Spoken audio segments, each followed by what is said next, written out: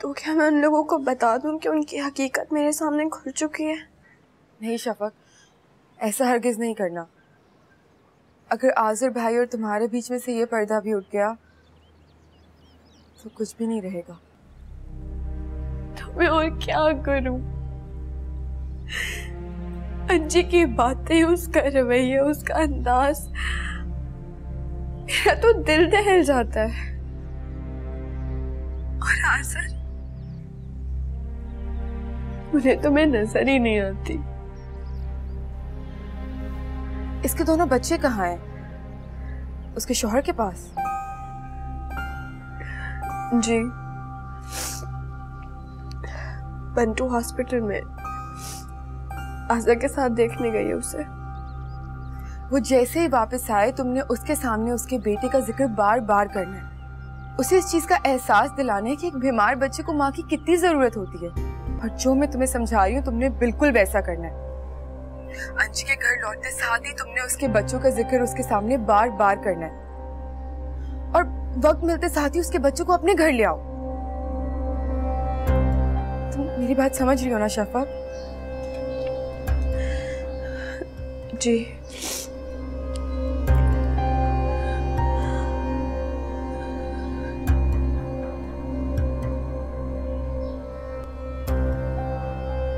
तो समझ नहीं आ रहा वो ऐसा कैसे कर सकता है? छोड़ो तुमने अब अपना ख्याल रखना है ओके? जब से आई हूँ अजीब सा फील कर रही हूँ। बंटू कहाँ है अंजीत? तुम उसे अपने साथ नहीं लाई? साथ क्या लाते? उस बच्चे ने तो इसकी तरफ़ देखना गवारा नहीं किया। अंजी कितना समझाया था मैंने तुम्हें कि बच्चों को अकेले मत छोड़ो। देखा तुम्हारे रवैये से क्या असर पड़ा है उन पर? तुम एक बीमार बच्चे को घर में अकेला छोड़कर यहाँ पर आ गई। क्या गुस्से होगी उस मासूम दिल पर? शफक तुमने अंजी का बहुत ख्याल रखा। काफ़ी उदास है। मुन्नी कैसी है? तुम मिली उससे? उसका तो बहुत बुरा हाल होगा तुम्हारे बगैर। ओहो हम लोग घर थोड़ी गए थे हॉस्पिटल गए थे बस। क्या? तुम मुन्नी से नहीं मिली हो अंजी? ओहो शफक अब इस टॉपिक को चेंज भी करो ना बच्चे अपने बाप के घर में किसी गैर के घर में थोड़ी। आपको क्या पता है सर? एक औरत जब माँ बनती है ना तो उसके लिए उसके बच्चों से ज़्यादा कोई अहम नहीं होता।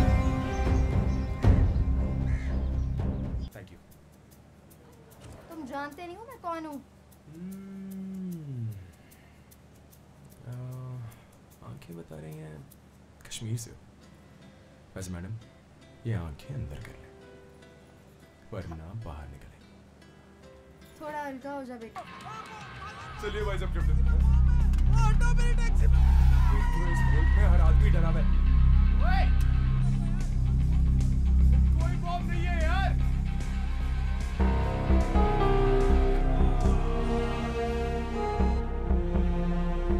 अंजी अंजी।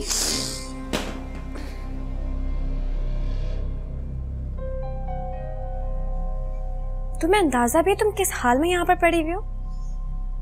उठो और कमरे में जाके सो। सिर्फ़ इंसान को क्या पता चलता है? क्या मैं मूवी देख रही थी ना, ऐसी सो गई। पता ही नहीं चला। सुबह ना डेढ़ बजे से पहले ना उठाना मुझे। नाश्ता उठ के करूँ।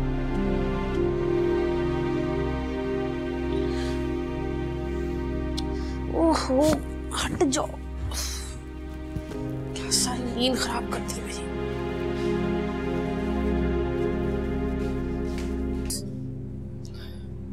देखें उससे अपने बच्चों की कोई परवाह नहीं है। एंड आई एम सॉरी लेकिन मैं अपने बच्चों को इसकी निगरानी में नहीं दे सकता। आप प्लीज़ चली जाए यहाँ से। मैं तो हूँ ना। मैं ख्याल रखूँगी आपके बच्चों का। प्लीज़ ऐसा मत करें। मेरा घर टूटने से आप ही बचा सकते हैं। आफ्ताब भाई आप इनकी बात मान लीजिए। कुछ टाइम के लिए बच्चों को अंजी के पास जाने दें। इसी में बेहतरी है शायद।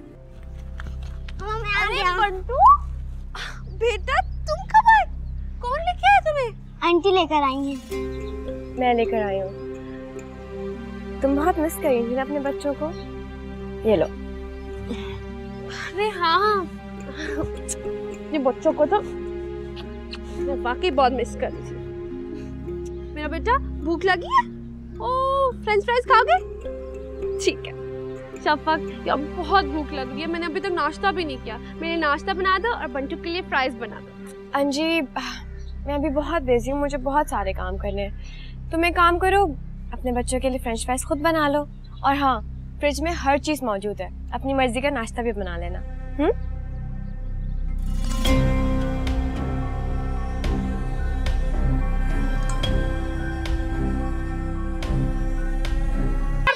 जाके अपनी शफक आंटी को बोल तो जूस बना के दे दे। नहीं मामा मुझे चॉकलेट दें। आ गई आ गई शफक क्यों शोर मचा रहे हो? अभी मैं बिज़ी हूँ ना।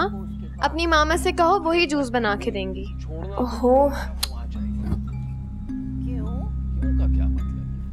मामा मुझे चॉकलेट दें। मामा मामा मुझे चॉकलेट दें। मामा मुझे चॉकलेट दें। शफाक? शफाक?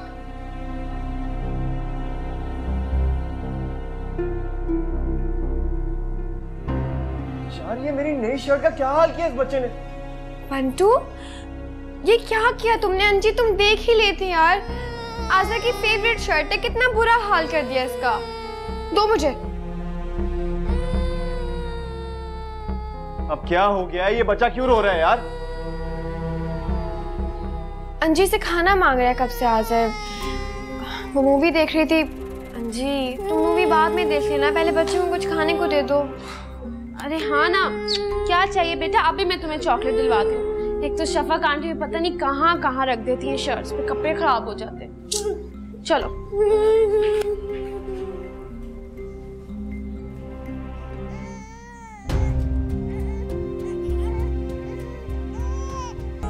तो तुम सारे काम छोड़ो ना और उसका फीडर लेके आओ। मैं कैसे लेके आ जाऊँ? आजा मैं किचन में काम कर रही हूँ।